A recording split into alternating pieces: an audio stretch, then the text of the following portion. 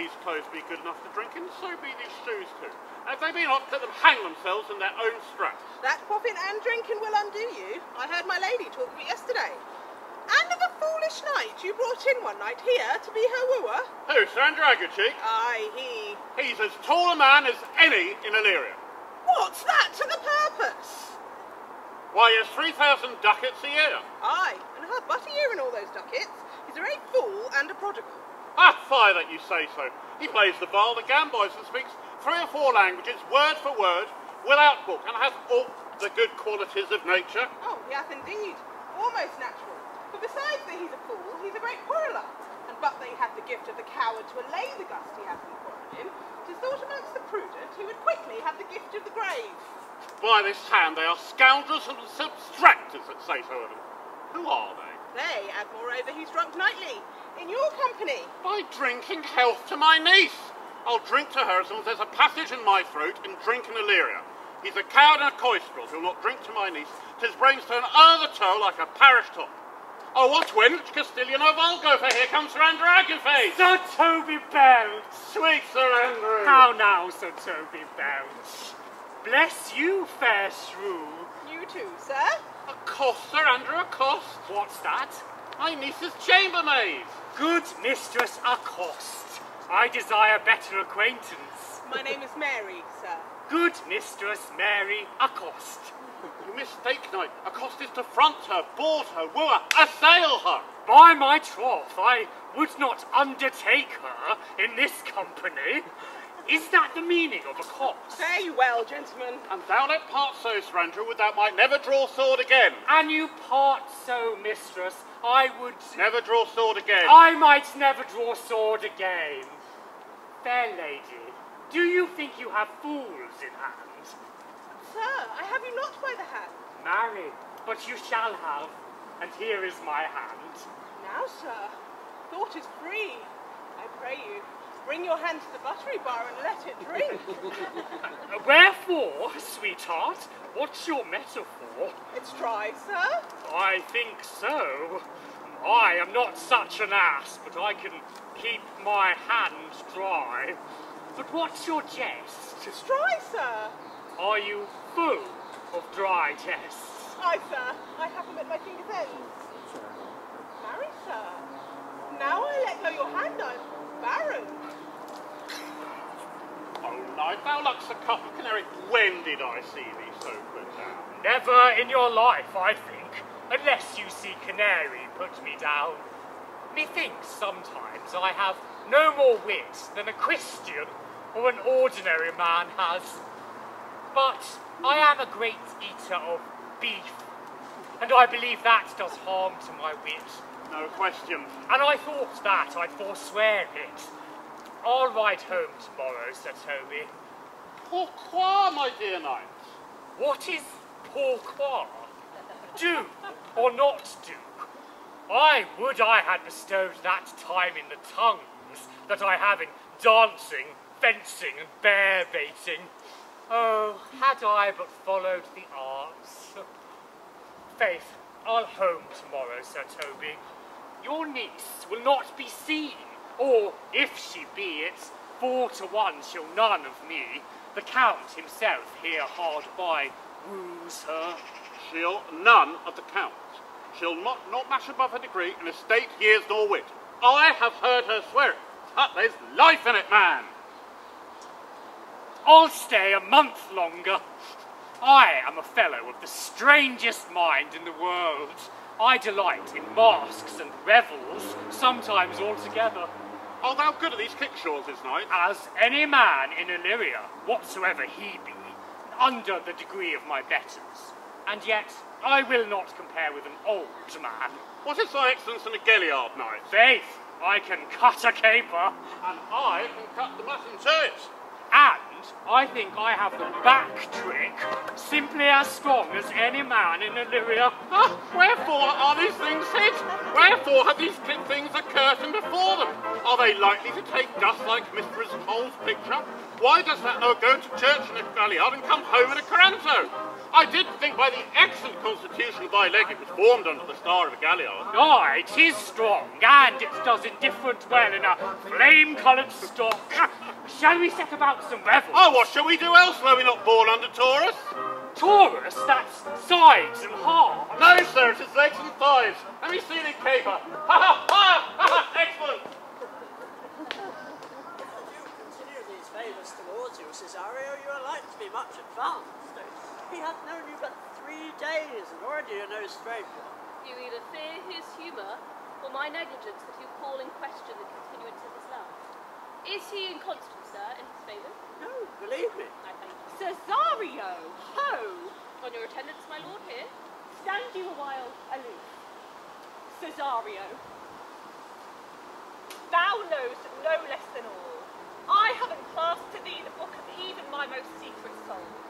Therefore, good youth, address thy gate unto her. Be not denied access. Stand at her door, and tell them there thy fixed foot shall grow till thou hast audience. Sure, my noble lord, if she be so abandoned to her sorrow as it is spoke, she never will admit to me. Be clamorous, and leap all civil bounds, rather than make unprofited return. Say I do speak with her. What then? Then unfold the passion of my love. Surprise her with discourse of my dear faith. It will become thee well to act my woes. I think not so, my lord. Dear lad, believe it, that they shall yet belie thy happy years that says thou art a man. Diana's lip is not more smooth and ruberous. Thy small pipe is as the maiden's organ, shrill and sound, and all is sembleth a woman's part. I know thy consolation is right apt for this affair. Prosper well in this, and thou shalt live as freely as thy lord to call his fortunes thine. I'll do my best. Yet, apart from strife, whoever I woo myself would be his wife. Lady, tell me where thou hast been, or I shall not open my lips so wide as a bristle may enter in my. My lady will hang thee for thy absence. Let her hang me, he that is well hanged in this world needs to fear no colours. Oh, make that good. He shall see none to fear. Good Lenten answer. I can tell you where that saying was born, and I fear no colours. Where, good Mistress Mary? In the wards. And may you be bold to send your foolery. Well, God give them wisdom that have it, and those that are fools, let them use their talents. And yet you'll be hanged for being so long absent. Or be turned away, and is that not as good as a hanging to Uh, you? Many a good hanging prevents a bad marriage. and for turning away, summer bear it Oh, out. peace you roam, no more of that. Here comes my lady. Make her excuse wisely, you are best. Wit, and be thy will, put me into good pooling. Those wits that think they have thee do very oft prove fools, and I that am sure I lack thee may pass for a wise man. What say Quinapalus? Better a witty fool than a foolish wit. God bless thee, lady. Take the fool away. Do not hear, fellows? Take away the lady. Go to, you're a trifle. Besides, you grow dishonest. I'll know more of you. Two quotes, Madonna, that drink and good counsel will amend. No, but give the trifle drink, then is the fool no longer dry. Bid the dishonest man mend himself. If he mends, he is no longer dishonest. If he cannot, let the butcher mend him. Anything that's mended is but patched. Virtue that transgresses is but patched with sin, and sin that amends is but patched with virtue. If that this simple syllogism will serve. So, if it will not, ah, what remedy, as there is no true cuckold but calamity, so beauty's a flower. The lady maids take away the fool, therefore I say again, take her away. Mistress, I bade them take away you. Misprision in the highest degree, lady, good colours, none for she's monicum. That's to say, I wear not motley in my brain. Good Madonna, give me leave to prove. Can you do it? Dexterously, good Madonna. Your proof. Good Madonna. Why mournest thou? Good fool for my brother's death. Soul is in hell, Madonna. I know his soul is in heaven, fool. The more fool, Madonna, to mourn for your brother's soul being in heaven. Take away the fool, gentlemen. What thinkest you of this fool, Malvolio? Is she not meant? I marvel your ladyship takes delight in such a barren rascal. I saw her put down the other day with an ordinary fool that has no more brains than a stone. Look you now, she's out of her guard already. Unless you laugh and minister occasion to her, she's gagged. I protest. I take these wise men who crow so at these set kind of fools no better than Zane is. You are sick of self-love, Malvolio, and taste with a distempered appetite. To be generous, guiltless, and of free disposition is to take those things for bird bolts that you deem cannon bullets. Oh, madam, there is at the gate a young gentleman that much desires to speak with you. From the Count Orsino, is it? I know not, madam, but it's a fair young man and well attended. Well, my people hold him in delay. Sir Toby, madam, your kinsman. Fetch him off, I pray you. He speaks nothing but madman. Fire on him. Go you, Mal- It be a suit from the Count, I am sick or not at home. What do you will to dismiss? Now you see, mistress, how your fooling grows old and people dislike it. Thou hast spoke thus, Madonna, as if thy eldest son should be a fool. It is dull a Joe cram with brains. For here comes one of thy kin has a most weak pia mater. By mine honour. Half drunk. What is he at the gate, cousin? Uh, gentlemen, A gentleman. What gentleman? there's a gentleman here. A plague, a plague of these pickled herrings. Oh, Panhouse up. Good Sir Toby. Cousin. Cousin, how have you come so early by this lethargy? Lectury? I defy lectury. There's one at the gates. I marry. What is he? Oh, devil any will, I care not. Give me face, so I saw one. Madam, yon young gentleman swears he will speak with you. I told him you were sick. He takes on him to understand so much and therefore comes to speak with you. I told him you were asleep. He seems to have full knowledge of that too and therefore comes to speak with you. What is to be said to him, lady? He is fortified against any denial. Tell him he shall not speak with me. Has been told so. And he says he'll stand at your door like a sheriff's post and be the supporter to a bench, but he'll speak with you. What man is he? Why, mankind. What manner of man? Of very ill manner. He'll speak with you, will you or no? What personage in years is he? Not yet old enough for a man, nor young enough for a boy. As a squash is before 'tis a peas pod, or a codling when 'tis almost an apple. And 'tis with him in standing water between boy and man. He is very well favoured and speaks very shrewishly. One would think his mother's milk were scarce out of him. Let him approach. Call in my gentlewoman. Gentlewoman, my lady calls. Bring me my veil. Come, throw it on my face. We'll once more hail Siemens Embassy. The honourable lady of the house, which is she? Speak to me. I shall answer for her. You're well? Most radiant, exquisite and unmatchable beauty. I pray you tell me if you be the lady of the house, for I never saw her. I would be loath to cast away my speech, for besides that it is excellently well penned, I have taken great pains to con it. Whence came you, sir? say little more than I studied, and that question's out of my path. gentle one, give me modest assurance, if you be the lady of the house, that I may proceed in my speech. Are you a comedian? Oh, my profound heart. And yet, by the very fangs of malice, I am not what I claim. Are you the lady of the house? If I do not usurp myself, I am. Most certain, if you are she, you do usurp yourself. For what is yours to bestow is not yours to reserve. But this is from my commission. I will on with my speech in your praise, and then show you the heart of my message. Come to what is important, Tibbets. I forgive you the praise. Alas, I took great pains to study it, and 'tis poetical. Tis the more like to be feigned. I pray you, keep it in. I heard you were saucy at my gates, and allowed your approach rather to wonder at you than to hear you. Will you hoist sail, sir?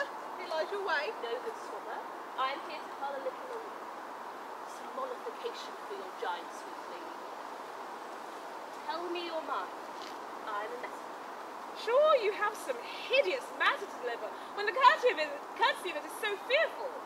Speak your office. It alone concerns your ear. I bring no overture of war, no taxation of homage. I hold the olive in my hand. My words are as full as peace and matter. Yet you began rudely. What are you? What would you? The rudeness that have appeared in me I have learnt from my entertainment. What I am and what I would are as secret as maiden Your divinity, others profanation. Give us the place alone. We will hear this divinity. Now, sir, what is your text? Most sweet lady, A comfortable doctrine, and much may be said of it. Where lies your text? in Orsino's bosom. In his bosom. In what chapter of his bosom? Do you answer by the method in the first of his heart? I have read it. It is heresy. Have you no more to say? Good madam, let me see your face. Have you any commission from your lord to negotiate with my face? You are now out of your text. But we will draw the curtain and show the picture. Look you, sir, such a one I was this present. Is it not well done? Excellently done. If God did all, Twill endure wind and weather. tis beauty truly blent, whose red and white sweets nature's own cunning hand laid on. Lady, you are the cruelest she alive if you will lead these graces to the grave and leave the world no copy. Oh, sir, I will not be so hard-hearted. I will give out diverse schedules of my beauty. It shall be inventoried with every particle and utensil labelled to my will as item, two lips in different red. Item, two brown eyes with lips to them. Item, one neck, one chin, and so. You send hither to praise me. I see what you are. You are too proud. Though if you were the devil, you are fair.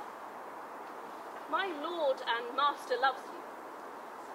Oh, such love could be but recompense, so you were crowned the nonpareil of beauty. How does he love me? with adoration's fertile tears, with groans that thunder love, with sighs of fire. Your lord does know my mind. I cannot love him. Yet I suppose him virtuous, know him noble, gracious person, but yet I cannot love him. He might have took his answer long ago. If I did love you in my master's flame, with such suffering, such a deadly life, in your denial I would find no sense. Why? Would you?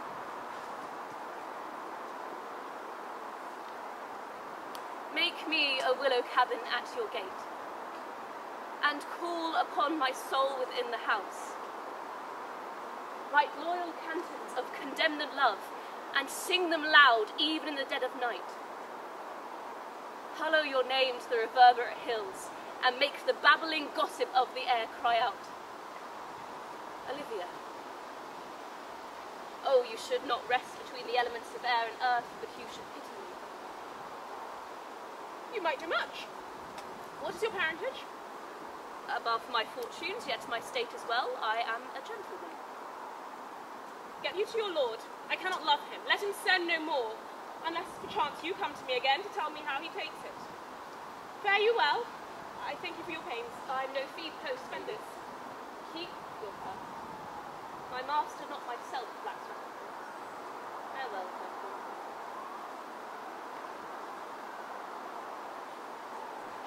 What is your parentage? Above my state, but my, my, my, my state as well. I am a gentleman. Sworn thou art. Thy tongue, thy face, thy limbs, thy actions and spirit do give thee fivefold blazon. Not so fast, soft, soft, unless the master were the man. How now? Even so quickly may one catch the plague.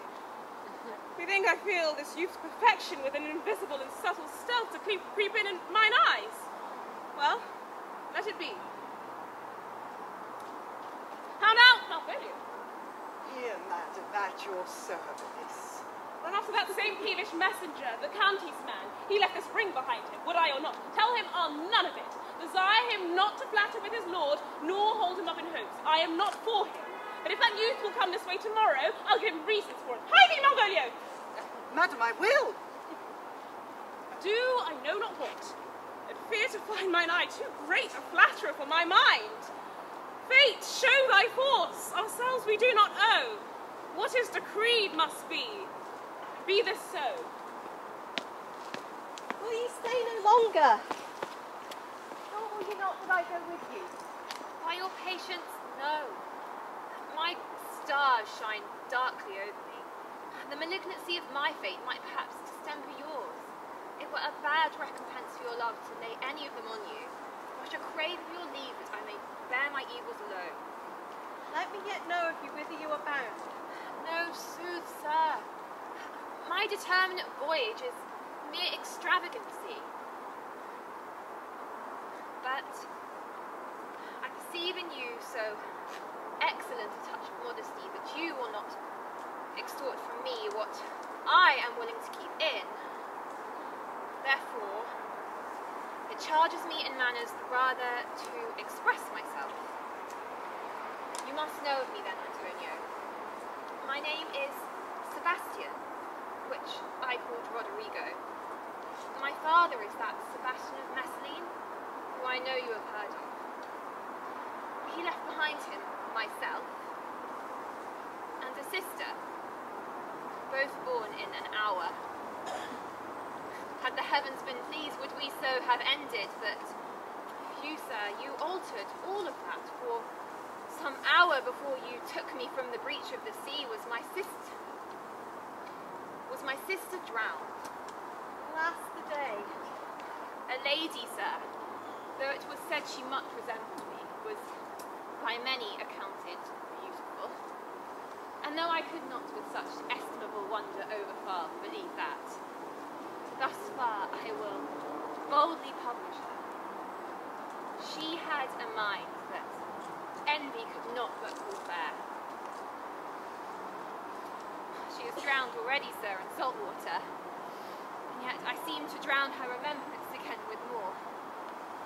Pardon me, sir, your bad entertainment. Give me the trouble, Antonio. If you will not murder me for my love, then let me be your servant. If you will not undo what you have already done, that is, kill him whom you have recovered, desire it not. My bosom is full of yet I am so near the manners of my mother that on the least occasion more mine eyes will tell tales of me. I am bound to the Count of Minos. Farewell.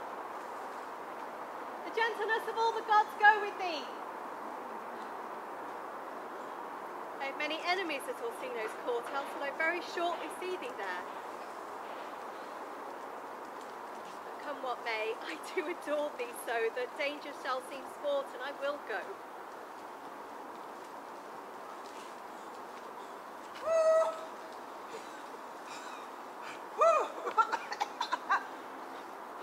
Were you not enough with the Countess Olivia?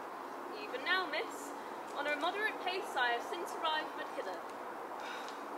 She returns this ring to you. You might have saved me my pains to have taken it away with you. She adds, moreover, that you should put your lord into a desperate assurance she'll none of him. And one thing more, that you be never so hardy to come again in his affairs, unless it be to report your lord's taking of this. Receive it so. She took the ring of me, I'll none of it. Come, sir, you peevishly threw it to her, and it is her will it should be so returned. If it be worth stooping for, there it lies, in your eye. If not, be it his that finds it.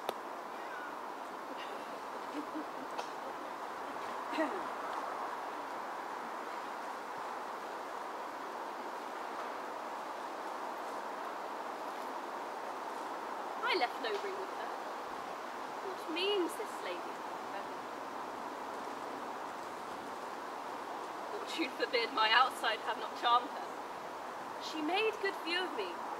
Indeed, so much methought her eyes had lost her tongue, for she did speak in starts distractedly. She loves me, sure. Cunning of her passion invites me in this churlish messaging. None of my lord's ring, why he sent her none. I am the man. If it be so, as 'tis, poor lady, she would better love a dream. How will this fudge? My master loves her dearly, and I, poor monster, fond as much on him, and she, mistaken, seems to dote on me. What will become of this? As I am man, my state is desperate for my master's love. As I am woman, now alas the day. What thriftless sighs shall poor Olivia breathe?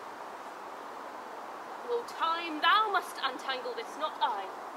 It is too hard a knot for me to untie. Approach, Sir Andrew. Not to be bed after midnight is to be up betimes, and diluculo surgere thou knowest. Nay, by my troth, I know not. But I know to be up late is to be up late. A false conclusion. I hate it as an unfilled can. To be up after midnight and then to go to bed then as early. So that to go to bed after midnight is to go to bed betimes. Does not our life consist of the four elements? Faith, so they say, but I think it rather consists of eating and drinking. Thou art a scholar, therefore let us eat and drink. Marian, I say, do wine. Here comes the fool, if they. Oh, How now, my hearts? Did you never see the picture of we three? Welcome, Master. Let's have a catch. By my troth, the fool has an excellent breast. And I had rather than forty shillings, I had such a leg. And so sweet a breath to sing as the fool has. In sooth, thou wast in very gracious fooling last night, when thou spokest of Pigrogromitus, of the Vapians passing the equinoctial of Queubus. 'Twas very good, if I sent thee sixpence for thy leaving. Hadst it? Oh, I did in Pentecost. Thy gratitude poor Malvolio's nose is no whipstop. My lady has a white hand, and the myrmidons are no Potterlayer houses. Excellent! Why, this is the best fooling when all is done. Now, a song. Come, there's sixpence for you. Let's have a song. And there is a testril of me, too. If Would one you night. have a love song or a song of good life? A love song. A love song. I, I, I care not for good life. Oh,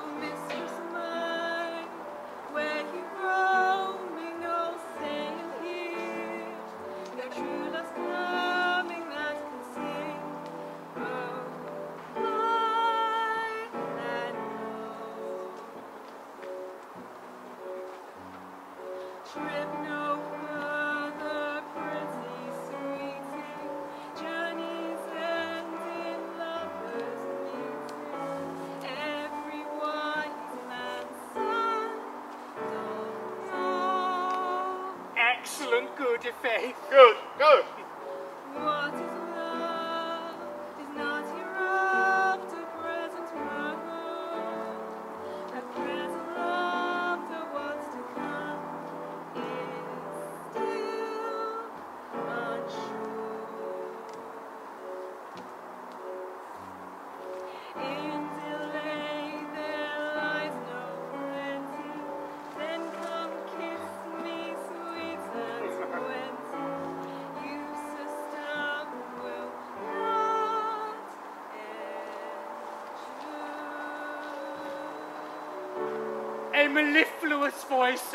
True knight. A contagious breath. Very sweet and contagious, faith. To hear by the nose it is dulcet in contagion. Shall we not make the welkin dance indeed? Shall we rouse the night owl in a catch that will draw three souls from one weaver? Shall we do that? And you love me, let's do it. I am dog at a catch. By the lady, sir, and some dogs will catch well. Most certain. Let our catch be, thou knave. Hold thy peace. Thou knave, knight, I shall be constrained in it to call thee knave, knight. Tis not the first time I have constrained one to call me knave. Begin, fool. It begins, hold thy peace. Oh, I shall never begin if I hold my peace. That's good, Faith. Come, begin. Roll mother out pound. the Knees up, mother barrel. Let's have Knees a barrel of fun. mother Roll out. If my lady had not called up her steward Malvolio and bid her turn you out of doors, never trust me. My ladies are Cataian. We are politicians. Malvolio's a peg of Ramsey. Three merry fellows be we. Am I not Consanguineous? Am I not of her blood? Oh, Tilly Valley, lady. There dwelt a man in Babylon, lady, lady. Beshrew me, the knight is in admirable fooling. Aye, he does well enough, if he be disposed, and so do I too. He does it with a better grace, but I do it more natural. On the 12th day oh, December. My masters! Are you mad or what are you? Have you no wit, manners, nor honesty, but to gabble like tinkers at this time of night? Do you make an alehouse out of my lady's house that you squeak out your cosiest catches without any mitigation or remorse of voice? Is there no respect for place, persons, nor time in you? We did keep time, ma- madam, in our catches. Neck up. Sir Toby, I must be round with you. My lady that though she harbours you as her kinsman, she's nothing allied to your disorders. If you can separate yourself with your misdemeanors, you are welcome in the house. If not, and it please you to take your leave of her, she is very willing to bid you farewell. Art thou any more than a steward? Dost thou think because thou art virtuous there shall be no more cakes than ale? Oh, yes, by Saint Anne. And ginger shall be hot in the mouth, too. Thou art in the right. Go, madam, rub your chain with crumbs. A soup of wine, Maria. Mistress Mary, if you prize my lady's favour at anything more than consent, you would not give means for this uncivil rule. She shall know it by this hand. Go shake your ears! Twere as good a deed as to drink when man's a hungry, to challenge her the field, and then to break promise with her and make a fool of her. Do it, knight. I'll write thee a challenge, or I'll deliver thy indignation by word of mouth. Sweet Sir Toby, be patient for tonight. Since the youth of the Count was tonight with my lady, she is much out of quiet. For Madame Malvolio, let me alone with her. I cannot gull her into a neighbourhood and make her a common recreation. Do not think I have wit enough to lie straight in my bed. I know I can do it. Possess us, possess us. Tell us something of her. Marry, sir, sometimes she is a kind of Puritan. Oh, if I thought that, I'd beat her like a dog. What, for being a Puritan? By exquisite reason, dear knight. I have no exquisite reason for it, but I have reason good enough. The devil, a Puritan that she is, or anything constantly time pleaser, an affectionate ass that constate without book and utters it by great swathes. The best persuaded of herself, so crammed as she thinks with excellencies, it's on her grounds of faith that all that look on her love her. and on this vice in her will my revenge find notable cause to work. What will thou do? I will drop in her way some obscure epistles of love, wherein by the colour of her beard, the shape of her leg, the manner of her gait, the expression of her eye, forehead, and complexion, she shall find herself most feelingly personated. I can write very much like my lady, your niece. On a forgotten matter, we can hardly make distinction of our hands. Excellent. I smell a device. I have it in my nose too. She shall think by the letters that thou shalt drop that they come from my niece, and that she's in love with her. My purpose is indeed a horse of that colour, And your horse now would make her an ass. as I doubt not. oh, twill be admirable. Sport Royal, I warrant you. I know my physic will work with her. I will plant you two and let the fool make a third where she shall discover the letter. Observe her construction of it. For tonight, to bed, and dream on the event. Farewell. Oh, good night, Penthesilea. Before me, she's a good wench. She's a beagle, true bred, and one that adores me. What of that? I was adored once too. Come, Knight, let's go to bed. I'll need to send for more money. If I cannot recover your niece, I'm a foul way out. Send for money, Knight. If thou have her not in the end, call me cut. If I do not, never trust me. Take it how you will. Come, let's go burn some sack.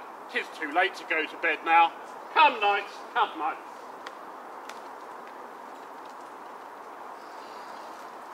Give me some music. Now, good morrow, friends. Now, good Cesario.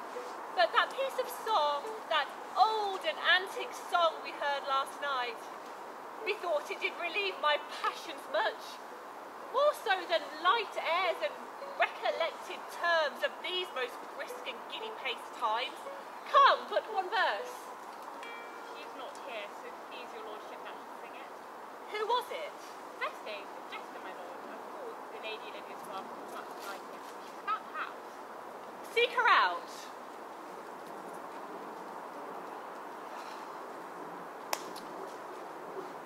Come, hither, boy. If ever thou shalt love in the sweet pangs of it, remember me. For such as I am, all true lovers are, unstayed and skittish in all motions else, save in the constant image of the creature that is beloved. How didst thou like that song?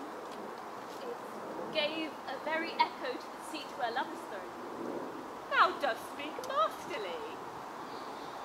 Life upon it, young though thou art, thine eyes has sought favour on something that it loves, has it not, boy? A little by your favour What kind of woman is it?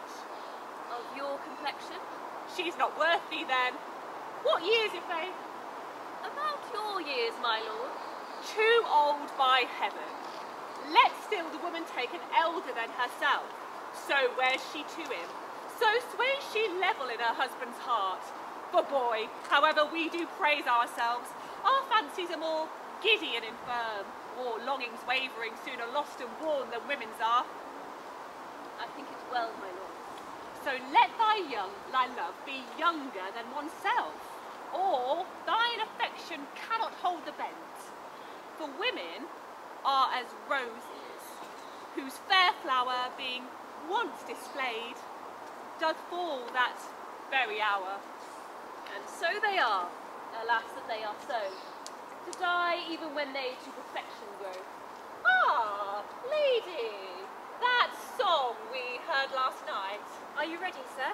I prithee, sing.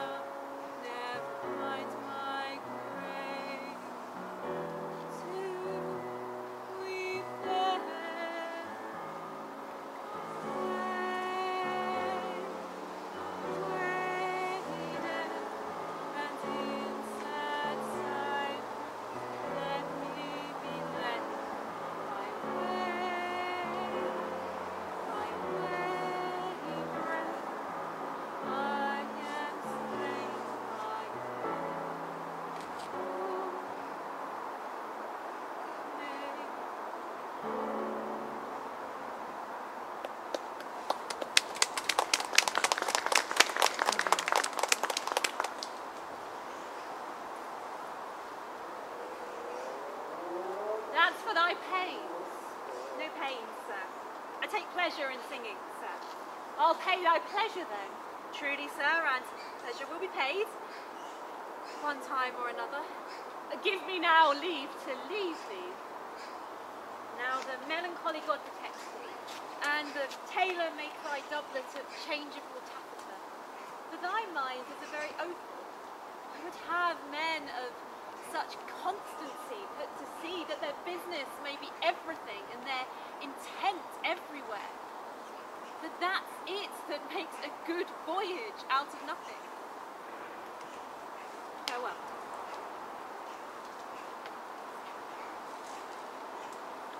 Let all the rest give place. Once more, Cesario, get thee to one saying sovereign cruelty.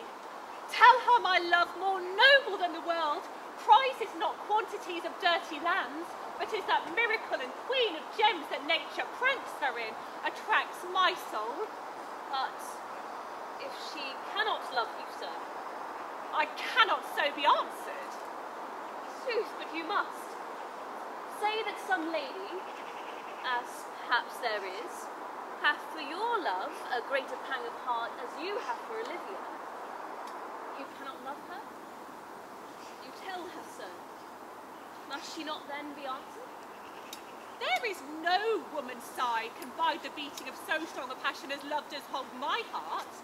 No woman's heart is so big to hold so much. They lack retention, whereas mine is all as hungry as the sea and can digest as much. Make no compare between that love a woman can bear me and that I owe Olivia. I would I know What dost thou know? too well what love women to men may owe. In faith, they are as true as heart as we. My father had a daughter loved a man. As it might be, perhaps were I a woman, I should your lordship. And what's her history? Blank, my lord. She never told her love, but let concealment like a worm in the bud feed on her dismasked cheek. She pined in thought, and with a green and yellow melancholy, she sat like patience on a monument, smiling at grief. Was not this love indeed? We men may say more, swear more, but indeed our shows are more than will. Still we prove much in our vows, but little in our love. And died your sister of her love, my boy. I am all the daughters of my father's house, and all the brothers too, and yet I know not. So, shall I to this lady? Aye, that's the theme. To her in haste. Give her this jewel. Tell her my love will give no place, bide no delay. On thy way, Signior Fabian. Nay, I'll come. If I lose the scruple of this sport, let me be boiled to death in melancholy. Would thou not be glad to see the niggly rasting sheep biter come by some notable shame? I'll exult, man. You know she brought me out of favour with my lady about a bear baiting you. To anger her, we shall have the bear again, and we shall fool her black and blue, shall we not, Sir Andrew? And we do not. It is pity of our lives. Ah, here comes the little villain. How now, my metal of India? Get you all three behind the box tree. Malvolio is coming down this walk. She has been yonder in the sun, practicing behaviour to her own shadow this half hour. Lie thou there, for here comes the trout that must be caught with tickling.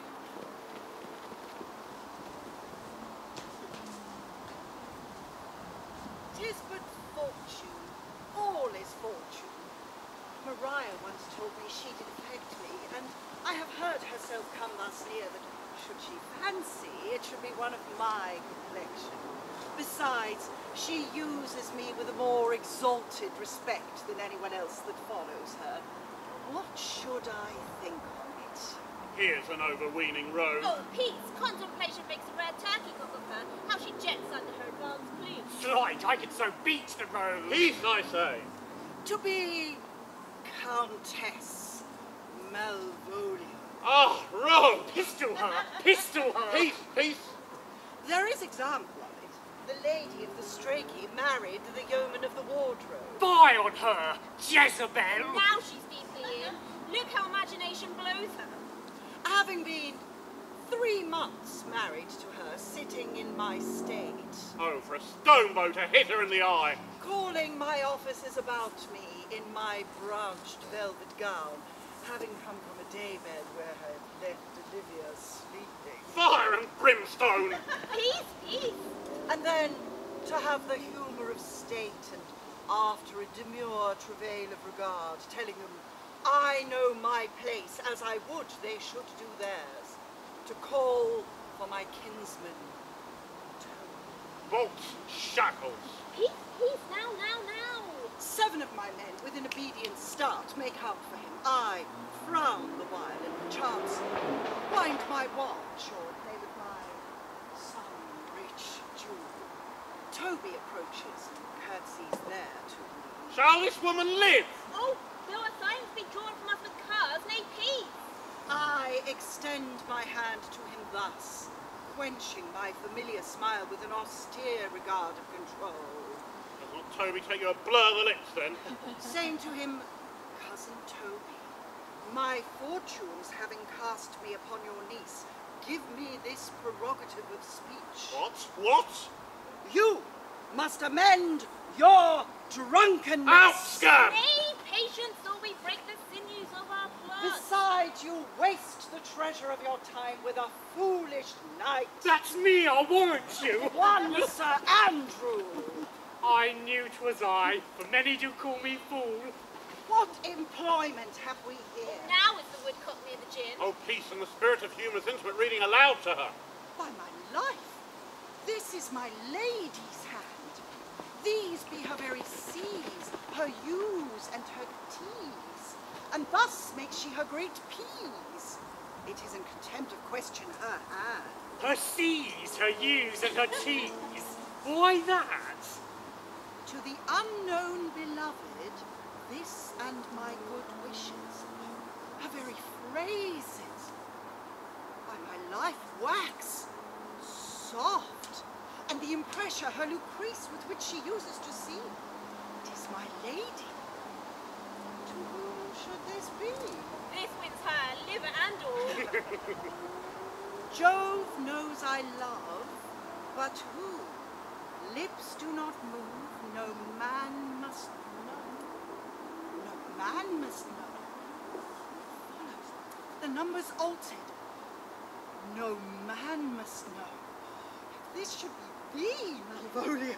Marry, hang thee, Brock! I may command where I adore, but silence, like a Lucrece knife with bloodless stroke, my heart doth gore.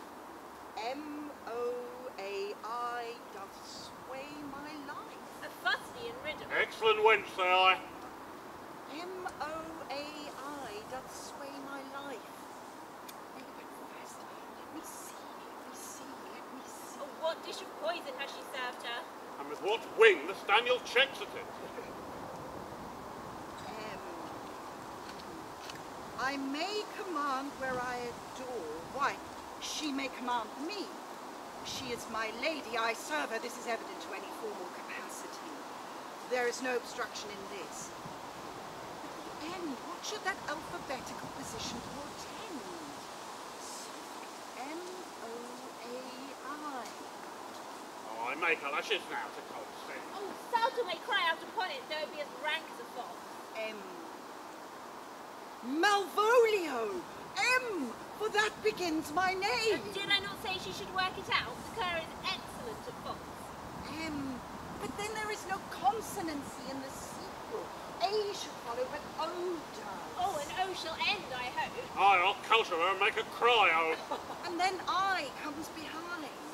Aye, and if you had more than an eye behind you, you would see more detraction at your heels than fortune before you. M-O-A-I. This simulation is not as the former. Yet, to crush it a little, it would bow to me. Every one of those letters is in my name. Soft, here follows prose. If this falls into thy hand, revolve. In my stars I am above thee, but be not afraid of greatness. Some are born great, some achieve greatness, and some have greatness thrust upon them.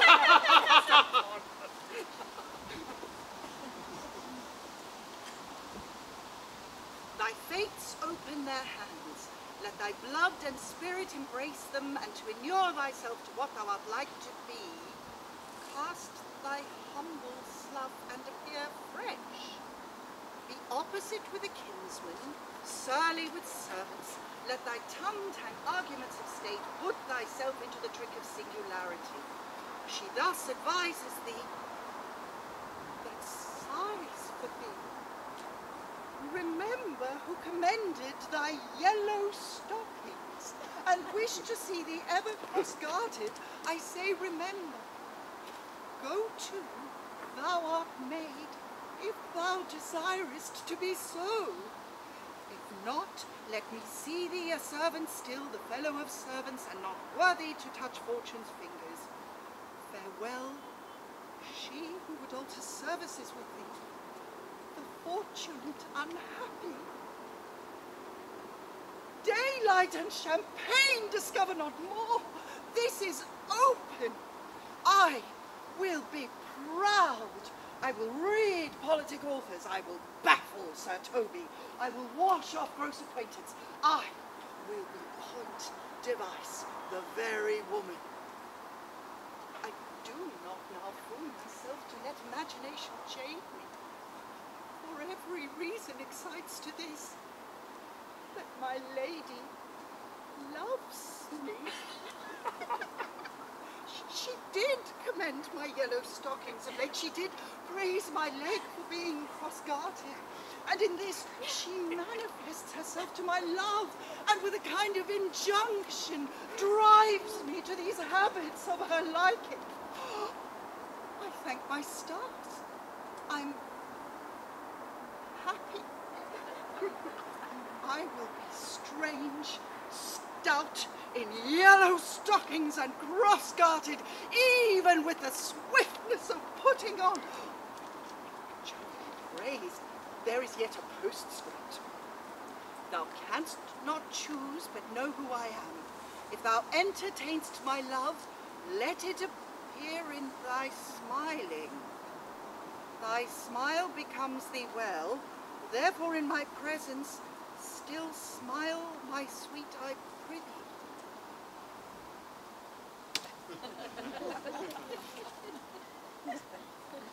Jove, I thank thee. I will smile.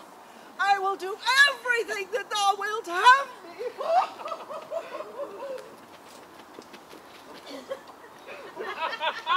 I would not give my part in this sport for a pension of thousands Sophy. I could marry the wench for this device. Oh, so could I, too. and ask no other dower with her but such another jest. Nor I neither. Oh, tis our noble goal catcher. Will thou set thy foot on my neck? Or mine, either. Shall I ply my freedman trade trip and become thy bondslave? If faith or I, either. Why, those put her in such a dream that when the image of it leaves her, she must run mad, Nay, but say true, does it work upon her? like aqua vitae with a midwife. You will see the fruits of the sport, then mark her first approach before my lady. She will come to her in yellow stockings, and 'tis a colour she abhors. and cross-gartered, a fashion she detests, and she will smile upon her, which will now be un- so unsuitable to her disposition, being addicted to a melancholy as she is, that it cannot but turn her into a notable contempt. You will see it. Follow me. To the gates of Tartar, thou most excellent devil of a witch. I'll make one too. Art not thou the Lady Olivia's fool? No, indeed, sir. The Lady Olivia has no folly. She will keep no fool. Sir, till she be married. And fools are as like husbands as pilchards are to herrings. The husband the bigger. I am indeed not her fool, but her corrupter of words. I saw thee late at the Orsino. Foolery, sir. Doth what about the orb like the sun? It shines everywhere. I would be sorry, sir, sir. Uh, but I should as oft be with your master as with my mistress. I think I saw your wisdom there. Nay, and now pass upon thee. I'll no more with thee. Hold. There's expenses for thee. Now, Jove in his next commodity of hair, send me a beard. Hmm. By my troth, I'm almost sick for one, though I would not have it grow on my chin. I- i- is there a lady within? Would not a pair of these have bred, sir? Yes, being kept together and put to use. I would play Lord Pandarus of Phrygia, sir, to bring a Cressida to this hmm, Troilus. Understand, ma'am. It's well made. The matter, I hope, sir, is not great, begging, but a beggar. Cressida was a beggar. My lady is within, sir. I will consta to them whence you came, who you are, and what you would are out of my welkin. I would say element, but the word is overworn. Save you, gentlemen. And you, sir. Je vous garde, monsieur. Et vous aussi. Votre serviteur. I hope, sir, you are, and I am yours. Will you encounter the house? My niece is most desirous that you should enter, if your trade be to her. I am bound to your niece, sir. I mean, she is the list of my voyage. And taste your legs, sir, put them to motion. My legs do better understand me, sir, than I understand what you mean by bidding me taste my legs. I mean to go, sir. To enter. I will answer you again. Ah, but we are prevented. Most excellent, accomplished lady, the heavens rain odours on you. That youth's a rare courtier, Rain odours, wary. My matter hath no voice, but your own most pregnant and vouchsafed ear. Pregnant odours, vouchsafed. I'll get 'em all three, already. Let the garden door be shut and leave me to my hearing. Give me your hand, sir. What is your name? Cesario is your, your servant's name, their princess. My servant. Your servant to the Count Orsino, youth. And he is yours, and his must needs be yours. Your servant's servant is your servant, madam. For him, I think not on him. For his thoughts, would they were blanks rather than filled with me. I come to wet your gentle thoughts on his behalf. By your leave, I pray you. I bade you never speak again of him. But would you undertake another suit, I had rather hear you solicit that than music from the spheres. Dear lady, Give me leave to speak. I did send, after the last enchantment you did here, a ring in chase of you. So did I abuse myself, my servant, and I fear me you. On your hard construction must I sit, to have forced that on you in a shameful cunning which you knew none of yours. What might you think? Have you not set mine honour at the stake, and baited it with all the unmuzzled thoughts that tyrannous heart might think? To one of your receiving, enough is shown. The cypress, not a bosom hides my heart, so let me hear you speak. I pity you. That's a degree to laugh. No, not agrees, for 'tis a vulgar proof that very oft we pity enemies. Why then? Methinks 'tis time to smile again. Oh world, how apt the poor are to be proud. If one should fall prey, how much the better to fall before the lion than the wolf. The clock upbraids me with a waste of time. Be not afraid, good youth. I will not have you. Yet, when wit and youth has come to harvest, your wife is like to reap a proper man. There lies your way, due west. Then westward home. Grace and good disposition attend your ladyship. Feel nothing to my lord by me? Stay, I prithee. Tell me what thou thinkest of me. That you do think you are not what you are.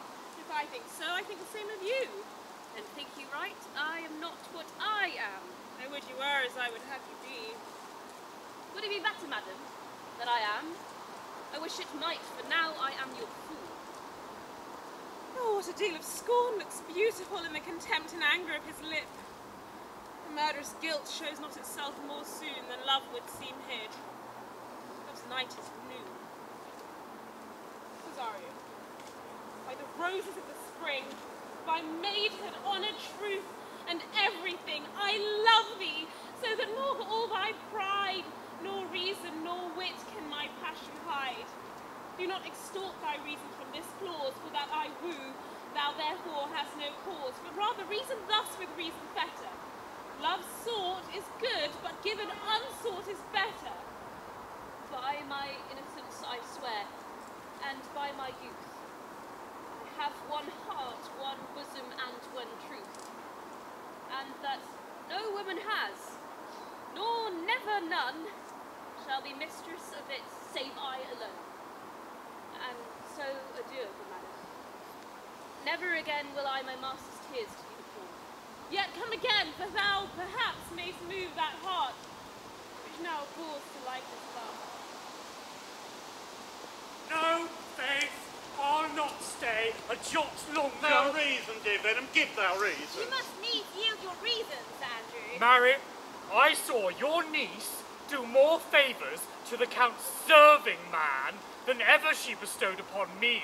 I saw it in the orchard, Did she see thee the while, old boy? Tell me that. as plain as I see you now. This was a great argument of love in her towards you, Sir Andrew. Slight, will you make an ass of me?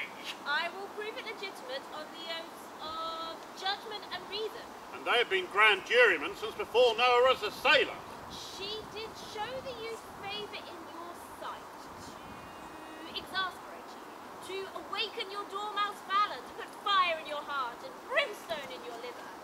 You should then have accosted her, and with excellent jest, fine you from the mint should have banged the youth into dumbness. This was looked for in you and was balked. The double guilt of this opportunity you have let time wash off, and so you have sailed into the north of Our Lady's opinion. Well, you will hang like an icicle on a Dutchman's beard, unless you redeem it by laudable attempt of valour or policy. And be anyway, it must be with valour, for policy I hate. I had as lief be a brownist as a politician. Then build me thy fortunes upon the basis of valour. Challenge me, the Count's youth, to fight with him. Hurt him in eleven places, my niece will take note. And assure thyself there is no greater love broker in the world can more prevail in man's commendation with women than report of valour. There is no way but this, Sir Andrew. Will either of you bear me a challenge to him? Go write it in a martial hand. Be cursed and brief. It is no matter how witty, it must be eloquent and full of invention. Taunt him with the license of ink. About it. Let there be gall in thy ink. Although thou write with a goose pen, no matter. About it. Where shall I find you? We'll see thee at the cubiculo. Oh. Go. This is a dear mannequin to you, Sir Toby, is it not? I've been dear to him, lad, some 2,000 strong or so. We'll have a rare note from him, but you'll not deliver it. Never trust me then. And by all means, stir on the youth to an answer. I think Oxen and Wainwright's gonna hold them together. Ah, look where the youngest friend of mine comes. Are thou desirous to spleen and will laugh yourselves into stitches? Follow me. Yon girl Malvolio is turned heathen. A very renegado, for there can be no Christian that means to be saved by believing rightly can ever believe such impossible passages of grossness. She's in yellow stockings! and cross-garters. Almost villainously, like a peasant that keeps a school in the church. She does follow every point of the letter I did drop to betray her. She does smile her face into more lines than there is in the new map with the augmentation of the Indies. I know my lady will strike her, and if she do, she'll smile and take it for a great favour. Come on, take us. Take us where she is. I would not by my will have followed you, but seeing as you seem to make your pleasure of your pains, I will no further chide you. I could not stay behind you. My desire more sharp for violent steel did spur me forth, and not all love to see you, though so much as might have drawn me to a longer voyage, but jealousy what might befall your travel, being skilless in these parts, which To a stranger, unguided and unfriended, often prove rough and inhospitable. My willing glove are rather by these arguments of fear set forth in your pursuit. My kind Antonio, I can make no other answer but thanks and thanks and ever thanks. And oft good turns are shuffled off with such uncurrent behaviour. Were my worth as is my conscience fair, you should find better dealing. Well, what's to do? Shall we go and see the relics of this town? Tomorrow, sir, best first go to your lodging. But I am not weary, and 'tis long tonight. I pray you, uh, let us satisfy our eyes on the memorials and things of fame to renown this city. Would you pardon me? Not without danger walk these streets. Once in a sea fight against the county's galleys, I did some service. Such note indeed that were I ta'en here, it would scarce be answered. Belike you slew a great number of people. The offence was not of such a bloody nature, albeit the quality of the time and quarrel might well have given us bloody arguments. It might have been answered since in repaying what we took from them, which for traffic's sake most of our city did. Only myself stood out, for which if I be lapsed in this place I shall pay dear.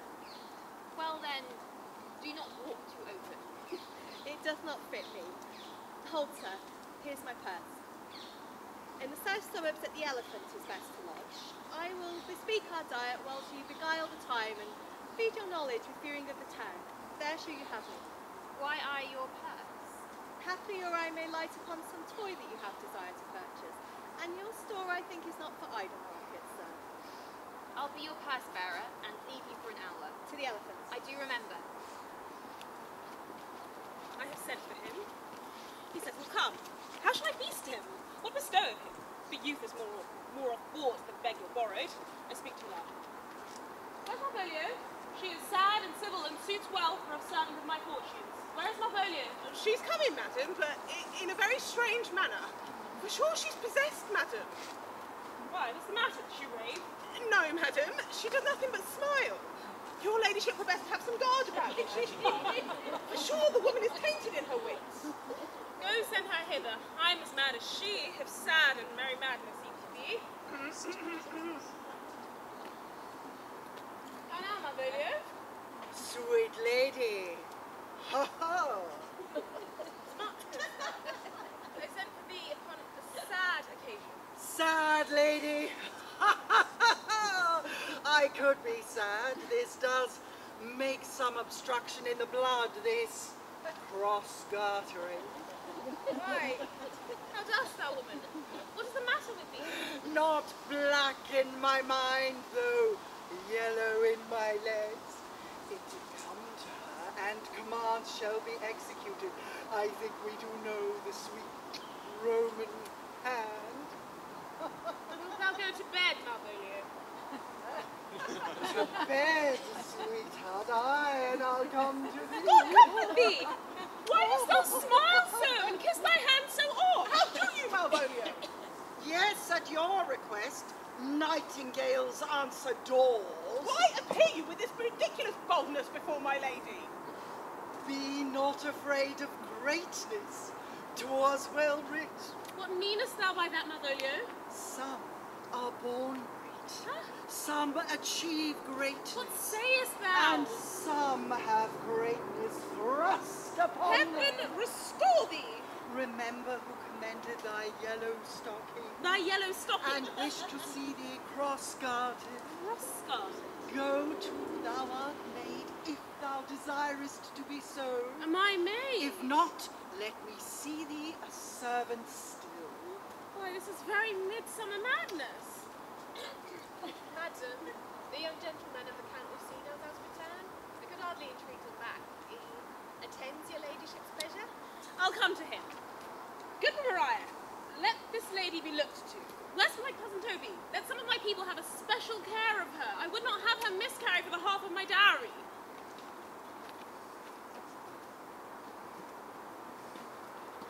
Oh, do you come near me now? No worse man than Sir Toby to look to me. This concurs directly with the letter. She sends him that I may appear stubborn with him, for she incites me to that in the letter. Cast thy humble slough, says she. Be opposite with a kinsman, surly with servants.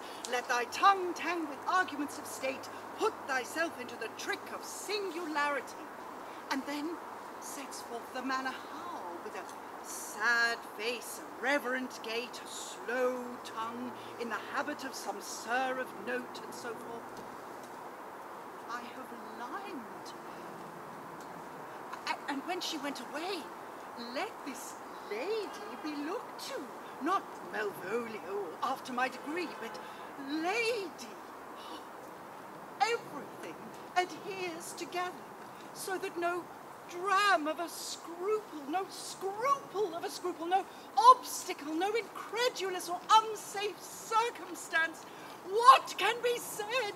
Nothing that can be can come between me and the full prospect of my hopes. Well, Jove, not I, is the doer of this, and he is to be thanked. Which way is she in the name of sanctity of all the devils of hell be drawn in little, and Legion himself possessed her, yet I'll speak to her. Here she is, here she is. How is it with you, madam?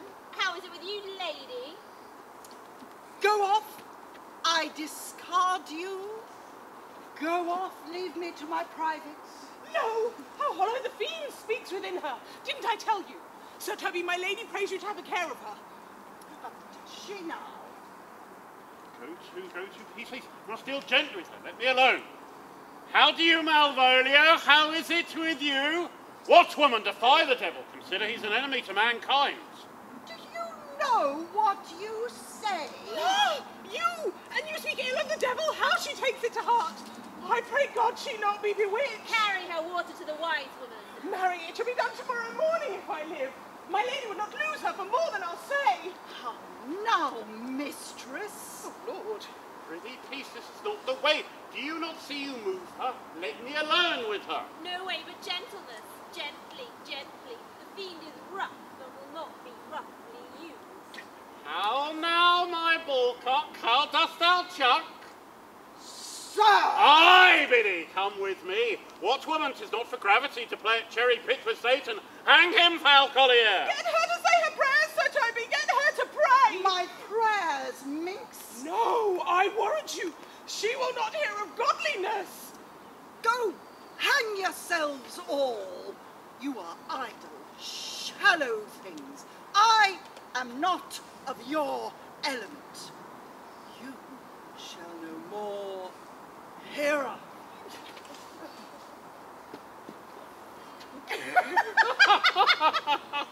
Oh, is it possible? Oh, if it were played upon a stage, I could condemn it as an improbable fiction. A very genius has taken the infection to the vice man. Nay, pursue her now, lest the divisive air take. We shall drive her to madness. Hmm, the house will be the quieter. Come, we'll have her in a dark room and bound. My niece is already in the belief that she's mad. We will carry it through for our pleasure and her penance till our very pastime, tired out of breath, prompt us to take mercy on her, at which time we will bring the device to the bar and crown thee for a finder of mad women. Oh, but see, but see. More matter for a May morning. Here's the challenge. Read it. I warrant there's vinegar and pepper in it. It's so saucy. I ist. I'll warrant him. Do but read. Good. Youth, whatever thou art, thou art but a scurvy fellow. Good and valiant. Wonder not nor admire not in thy mind why I do call thee so, for I will give thee no reason for it. A good note that keeps you from the blow of the law. Thou comest to the Lady Olivia. In my sight she uses thee kindly, but thou liest in thy throat. A, That is not the matter I challenge thee for. a brief note and to exceedingly good sense. Less. I will relay thee going home, wherever it be thy chance to kill me. Good. Thou killst me like a rogue and a villain. And still keep on the windy side of the law. Good. Fare thee well, and God have mercy upon one of our souls. He may have mercy upon mine, but my hope is greater. Therefore look to thyself. Thou friend. As thou usest him, and thy sworn enemy Sir Andrew Aguecheek. If this letter move him not, his legs cannot. I'll give it to him. Oh, you may have very fit occasion for it. He's now in some commerce with my lady, and will by and by depart. Go, Sir Andrew, scout him at the corner of the orchard like a Bombay. And as soon as thou seest him, draw. And as thou draw, swear horrible. For it comes to pass that a terrible oath, with a swaggering accent sharply twanged off, gives manhood more approbation than ever proof itself would have earned him. Away! Nay, let me alone for swearing. oh, now will I not deliver his letter, for the behaviour of the young gentleman makes him out to be of good capacity and breeding. His employment between his lord and my niece confirms no less. Therefore, this letter being so excellently ignorant will breed no terror in the youth. He will find it comes from a clodpole.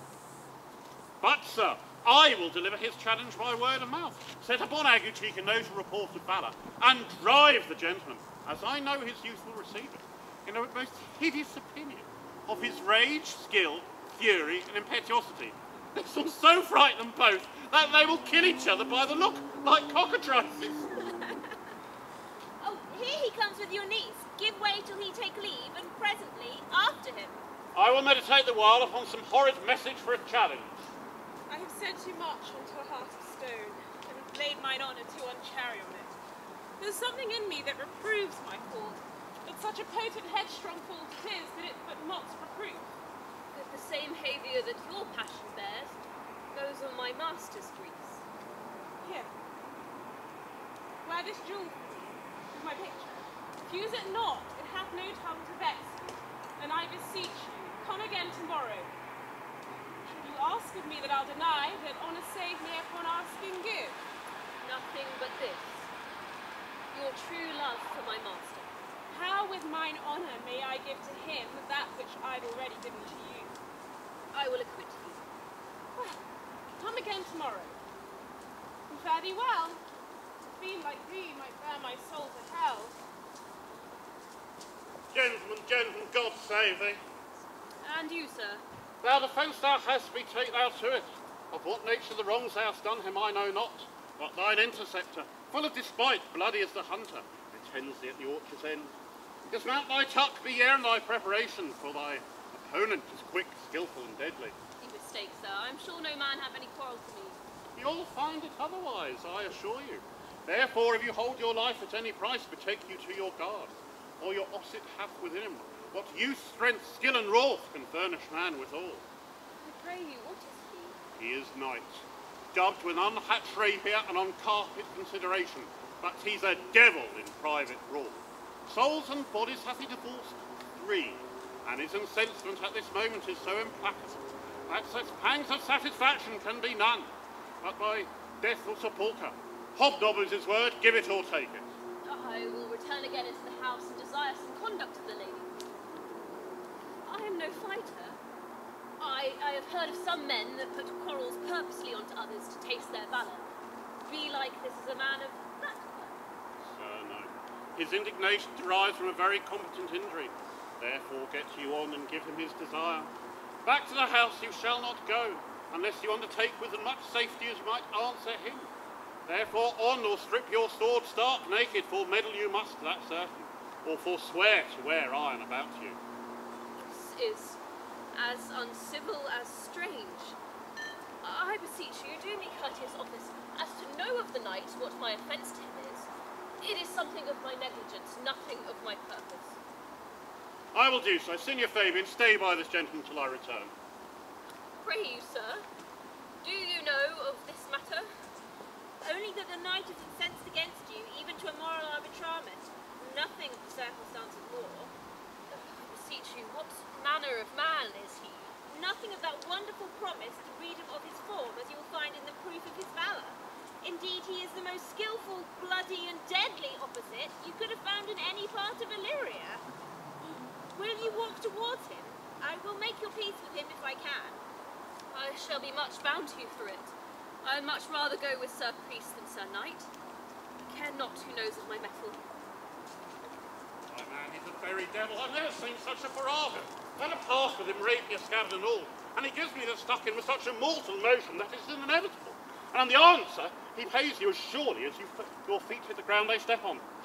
They say has been fenced of the Sophy. Pox on it! I'll not meddle with him. Aye, but he will not now be pacified. Fabian should scarce hold him yonder. plague on it. And I thought he had been valiant and so cunning in fence. I'd have seen him damned ere I'd have challenged him. Let him let the matter slip, and I'll uh, give him my horse, Grey Capilet. I'll make the motion. Uh, stand here, make a good show on it. This will end without the perdition of souls. Marry, I'll ride the horse as well as I ride you. He is as horribly conceited of him and pants in his pail as if there's a bear at his heels. I've his horse to take up the challenge. I persuaded him to use the devil. Come, sir, there's no remedy. He will fight with you for oath's sake. Marry, he has better bethought himself of his quarrel, now finds it scarce to be worth talking of. Therefore, draw for the supportance of the family. He terribly. Pray God defend me. A little thing would make me tell them how much I lack of a man. Give way if you see him furious. Come, Sir Andrew, there's no remedy. This gentleman will, for his honour's sake, have one bout with you. He cannot buy the duello, avoid it. But he has promised me, as he is a gentleman and a soldier, he will not hurt you. Come on, to it. Pray God he keep his own. I do assure you, you, 'tis against my will. Pull up your sword! If this young gentleman has done offence, I take the fault out of me. You offend him, I for him defy you. You, sir, why? What are you? One, sir, that for his love dares yet do more than you've heard him brag to you, he will. Now, if you be an undertaker, I'm for you. As Sir Toby hold, here come the officers. I'll be with you anon. Uh, pray you, sir, put up your sword if you please. Marry will I, sir, and for that I promised you, I'll be as good as my word. He will bear you easily. He reigns very well. This is the man. Do thy office. Antonio, I arrest thee at the suit of Count Orsino. Did You mistake me, sir. No, sir, not one jot. I know your favour well, though now you have no sea cap on your head. Take him away. He knows I know him well. I must obey. This comes with seeking you, but there's no remedy. I shall answer it. What will you do now? My necessity makes me to ask you for my purse. It grieves me so much more for what I cannot do for you than what befalls myself. You stand amazed, but be of comfort. Come, sir, away. I must entreat you some of that money. What money, sir? For the kindness that you have shown me, and part being prompted by your present trouble, out of my lean and low ability, I'll lend you something. My having is not much. I'll make division of my present with you. Hold. There's half my. What? Will you deny me now? Possible that my deserts to you can lack persuasion. Do not tempt my misery, lest that it make me so unsound a man as to upbraid you for those kindnesses that I have done for you. I know of none. Nor I know you by voice or any feature. I hate ingratitude more in a man than lying vainness, bubbling drunkenness, or any taint of vice whose strong corruption and great. Heavens themselves. Come, sir, I pray you No, no, go. let me speak a little. This young man that you see here, I snatched one half out of the jaws of death. Relieved him with such sanctity of love. And to his image, which methought did promise most venerable worth, did I devotion. What's that to us? Come, sir, away. Oh, how vile and idle proves this God. Thou hast, Sebastian, done good feature shame. In nature there's no blemish but the mind. None can be called deformed but the unkind. Virtue is beauty, but the beauteous evils are empty trunks, are flourished by the devil. The man grows mad. Come away. Lead me on. Methinks that his words do from such passion fly that he believes himself. So do not I. If it prove true, if I, dear brother, be now taken for you, he named Sebastian. I, my brother, know, yet living in my glass. Oh, if it prove. Tempests are kind and salt waves fresh in love. Very dishonest paltry boy, more a coward than a hare. His dishonesty lies in leaving his friend here in necessity and denying him. And as for his cowardship, ask Fabian. A coward, a devout coward, religious with it. Slid, I'll after him again and beat him. Cuff him soundly, but never draw thy sword. And I do not. Oh, come, let's see the event. I will lay any money, 'twill be nothing yet.